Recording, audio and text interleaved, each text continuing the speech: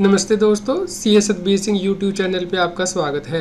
दोस्तों फ़र्स्ट अक्टूबर 2023 से GST act में बहुत बड़ा बदलाव किया गया है, जिसके द्वारा के जीएसटी में इनपुट टैक्स क्रेडिट को क्लेम करने की प्रोविज़न को चेंज किया गया है।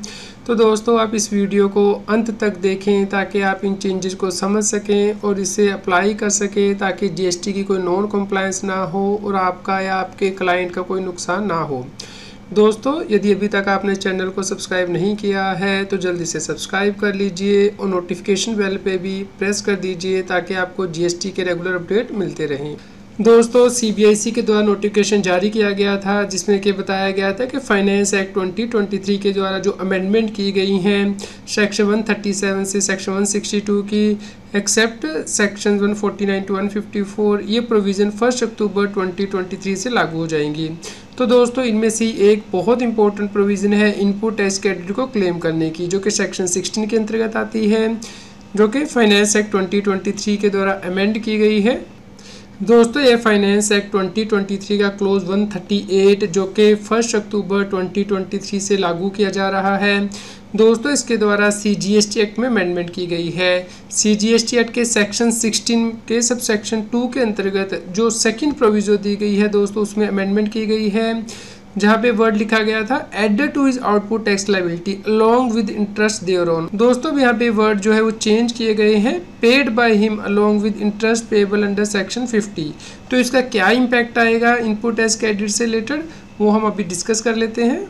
दोस्तों, यह सेक्शन 16 जीएसटी एक्ट का जो कि यह बताता है कि इनपुट टैक्स क्रेडिट को लेने के लिए आपको किन कंडीशन को पूरा करना है, उसके बाद ही आपको इनपुट टैक्स क्रेडिट मिलता है।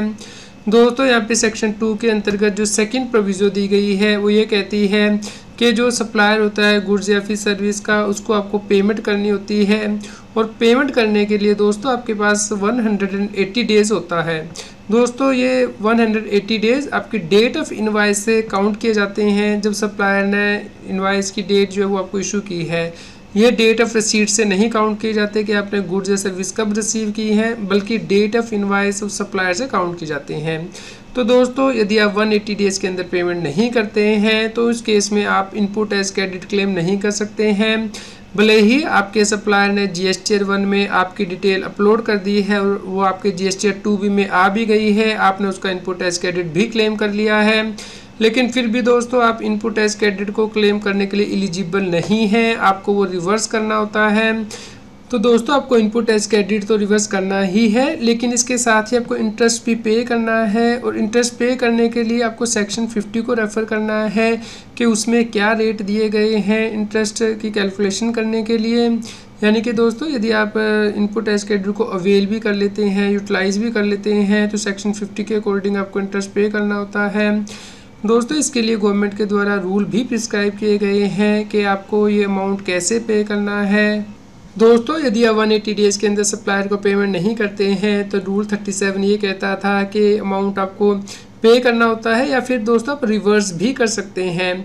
तो आप G S T three B में इसका रिवर्सल करेंगे और रिवर्सल करते हुए आपको इंटरेस्ट भी पे करना है, जो कि सेक्शन फिफ्टी में मेंशन किया गया है। तो दोस्तों, यदि आप 180 डेज़ के अंदर पेमेंट नहीं करेंगे तो उस केस में आपको रिवर्सल करना होता है विद इंटरेस्ट है लेकिन यहाँ पे ये भी प्रोविज़न दी गई है कि आप इस अमाउंट को रिक्लेम कर सकते हैं यदि आप 180 डेज़ के बाद इसकी पेमेंट करते हैं। दोस्तों, यदि आप मान लीजिए आपने हंड्रेड रुपीज़ की परचेज़ की है, जिसने कि फिफ्टी रुपीज़ पे कर दिया वन एटी डेज़ के अंदर फिफ्टी रुपीज़ पे नहीं किया है। तो जो इनपुट है कैडी रिवर्स करना है, क्या पूरे हंड्रेड रुपीज़ के ऊपर रिवर्स करना है, या सिर्फ़ फिफ्टी रुपीज़ के ऊपर ही रिवर्स करना है, जो आपने पे नहीं किया है? तो आंसर है दोस्तों, आपको सिर्फ़ फिफ्टी रुपीज़ के ऊपर ही इनपुट टैक्स क्रेडिट रिवर्स करना है, जो पे नहीं किया है, क्योंकि यहाँ पे देखिए wording proportionate to the amount not paid to the supplier ये वर्ड इंसर्ट किया गया था गवर्नमेंट के द्वारा। इसके अलावा दोस्तों जीएसटी पोर्टल पे यदि आप लॉगिन करते हैं सर्विस टाइम में लेजर में, यहाँ पे electronic credit reversal and reclaim statement का लेजर गवर्नमेंट ने स्टार्ट किया है। तो अभी तक आप जो रिवर्सल कर चुके हैं, जो कि आप रीक्लेम करेंगे, वो यहाँ पे आपको ओपनिंग बैलेंस में दिखानी है। उसके बाद दोस्तों, जैसे ही आप इसे रीक्लेम करते जाएँगे फ्यूचर में तो यहाँ पे electronic credit reversal and reclaim statement में आपको दिखाई देगी। तो इसके बारे में हमने ऑलरेडी वीडियो बनाई हुई अपने चैनल पे, उसे आप रेफ़र कर सकते हैं। तो चलिए डिस्कस करते हैं फर्दर अमेंडमेंट जो कि हुई है फ़र्स्ट अक्टूबर 23 से। दोस्तों इनपुट टैक्स क्रेडिट से रिलेटेड जो सेकंड अमेंडमेंट हुई है सेक्शन 16 के अंतर्गत ही दोस्तों सेकंड प्रोविज़ो के बाद जो थर्ड प्रोविज़ो दी गई थी, उसमें अमेंडमेंट हुई है। तो दोस्तों, जैसा कि आप यहाँ पे देख सकते हैं थर्ड प्रोविज़ो में जहाँ पे वर्ड मेड बाय हिम लिखा गया था, वहाँ पे टू द सप्लायर ये वर्ड इंसर्ट किए गए हैं तो ये कहाँ पे इंसर्ट किए गए हैं? इसका क्या इम्पैक्ट आएगा आपकी अकाउंटिंग के ऊपर और इनपुट एच क्रेडिट के ऊपर? उसे एग्ज़ाम्पल के साथ डिस्कस करेंगे। तो दोस्तों सेक्शन 16 में ही सेकंड प्रोविज़ो तो ये कहती थी कि यदि आप 180 डेज़ के अंदर सप्लायर को पेमेंट नहीं करते हैं इनवाइस की डेट से तो आपको इनपुट एज क्रेडिट को रिवर्स करना है विद इंटरेस्ट और थर्ड प्रोविज़ो ये कहती थी कि यदि आप 180 डेज़ के बाद पेमेंट कर देंगे तो उस केस में आप इनपुट एज क्रेडिट को रीअवेल कर सकते हैं। दोस्तों, यहाँ पे पहली वर्डिंग दी गई थी provided also that shall be entitled to avail of the credit of input tax on payment made by him दोस्तों, अब यहाँ पे जो वर्डिंग इंसर्ट की गई है to the supplier word insert किया गया है।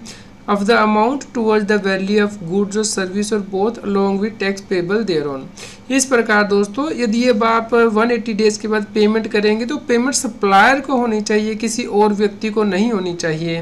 तो इसे एग्ज़ाम्पल के साथ डिस्कस करते हैं। दोस्तों, मान लीजिए मिस्टर ए के द्वारा गुड्स परचेज की गई है मिस्टर बी से तो यहाँ पे मिस्टर ए रेसिपिएंट हुआ, मिस्टर बी सप्लायर हुआ। लेकिन पेमेंट 180 डेज़ के अंदर नहीं की गई मिस्टर ए के द्वारा। और उसके बाद पेमेंट की गई, लेकिन पेमेंट मिस्टर सी को की गई, क्योंकि मिस्टर बी के द्वारा इंस्ट्रक्शन दी गई मिस्टर ए को कि पेमेंट डायरेक्टली मिस्टर सी को कर दी जाए। तो दोस्तों, यदि आप वन एट्टी डेज़ के अंदर पेमेंट नहीं करते हैं तो उस केस में आपको इनपुट टैक्स क्रेडिट रिवर्स करना है। विद इंटरेस्ट तो मिस्टर ए को अपनी G S T three B में ये इनपुट टैक्स क्रेडिट रिवर्स करना है। दोस्तों, उसके बाद अभी तक ये प्रोविज़न थी थर्टी सितंबर 23 तक कि भले ही पेमेंट सप्लायर को की जाए या फिर सप्लायर के द्वारा कोई और व्यक्ति ऑथराइज किया गया, उसको की जाए, तब भी आप इनपुट टैक्स क्रेडिट क्लेम करने के लिए एलिजिबल थे। तो आप रीअवेल कर सकते थे। लेकिन फ़र्स्ट अक्टूबर 2023 से माना जाएगा कि यदि आपने सप्लायर को पेमेंट की है तो ही आप इनपुट टैक्स क्रेडिट को रीअवेल कर सकते हैं। इस प्रकार यदि आप सप्लायर के इंस्ट्रक्शन पे किसी और व्यक्ति को पे कर रहे हैं तो भी आप इनपुट टैक्स क्रेडिट क्लेम करने के लिए एलिजिबल नहीं होंगे। तो ये बहुत बड़ा बदलाव है दोस्तों। आपको अपनी अकाउंटिंग की जो एंट्री है, वो देखनी है कि आप कैसे करते हैं, क्योंकि सप्लायर के लेजर अकाउंट में ही पेमेंट जो है वो जानी चाहिए।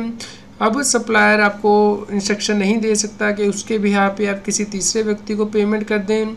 तो दोस्तों, आप इनपुट टैक्स क्रेडिट को रीअवेल नहीं कर पाएँगे। दोस्तों, इसके लिए गवर्नमेंट के द्वारा G S T three B के फॉर्मेट में भी चेंजेस किए गए हैं। जैसा कि आप यहाँ पे देख सकते हैं कि यदि आप 180 डेज़ के अंदर पेमेंट नहीं करते हैं तो यहाँ पे table four B clause two के अंतर्गत आपको अदर के अंतर्गत वो अमाउंट रिवर्स करना होता है। दोस्तों, यदि आपने टाइमली रिवर्स किया हुआ है तो उस केस में यदि 180 डेज़ के बाद आप पेमेंट करेंगे तो फिर आप रिक्लेम कर पाएँगे। तो यहाँ पे आपको टेबल फोर ए फाइव के अंतर्गत वो अमाउंट दिखाना है, जो कि आप रिक्लेम कर रहे हैं। और इसके साथ ही यहाँ पे टेबल फोर डी के अंतर्गत आई सी री क्लेम विच वो reverse under table four B two in earlier tax period यहाँ पे भी ये आपको दिखाना होगा। तो यहाँ पे जब आप रिपोर्टिंग करेंगे तो गवर्नमेंट के द्वारा चेक किया जाएगा आपके रीक्लेम लेजर के साथ, जो कि हमने डिस्कस किया है। इस प्रकार अब आपको इनपुट टैक्स कैडर को क्लेम करते हुए इन बातों का ध्यान रखना है। उम्मीद करते हैं आपके लिए यह न्यूज़ यूज़फुल रही होगी। कृपया लाइक करें और शेयर करें ताकि सभी लोगों तक ये जानकारी पहुँच पाए और वो जीएसटी की कॉम्प्लायंस कर पाएँ। रेगुलर जीएसटी और टैक्स अपडेट के लिए इस चैनल को सब्सक्राइब करें। फ्रेंड्स आप टीडीएस इनकम टैक्स जीएसटी और अकाउंटिंग सॉफ्टवेयर ऑडिट रेल के साथ कॉम्प्लायंस आसानी से कर सकते हैं। इन सॉफ्टवेयर के डेमो देखने के लिए आप हमें मोबाइल नंबर के साथ ईमेल कर दीजिए। टैक्सील at the rate gmail dot com पर। आप हमें Telegram app C S Singh टैक्सील पर ज्वाइन कर सकते हैं ताकि आप जीएसटी और इनकम टैक्स के रेगुलर अपडेट अपने मोबाइल पर ही प्राप्त कर सकें।